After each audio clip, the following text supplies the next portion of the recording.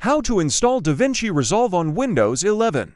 Hello guys, in this video, you will learn how to install DaVinci Resolve on your computer. To install DaVinci Resolve on your Windows 11 or Windows 10 operating system, first of all open Google Chrome browser. Then go to Google and search DaVinci Resolve. Open Blackmagic Design website.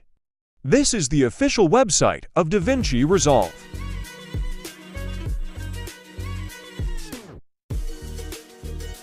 Now in Blackmagic Design website, go to Studio.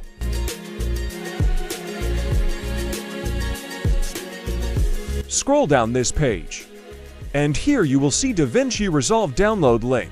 Here you can download both free and paid version of DaVinci Resolve. So if you want to download DaVinci Resolve free version, click on this link. To download DaVinci Resolve for your Windows, click on Windows.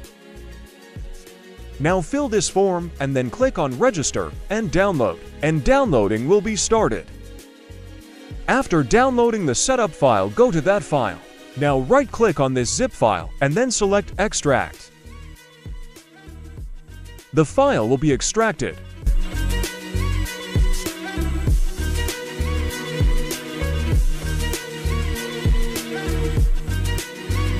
Now open the extracted folder. Here you can see the setup file. Double-click on the setup file and the installation will be started.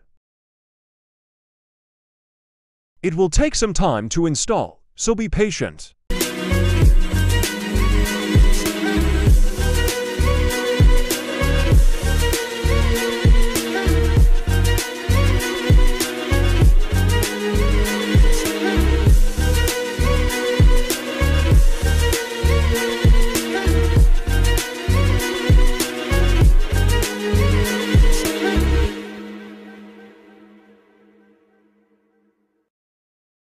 After completing installation, open DaVinci Resolve Video Editor and start editing.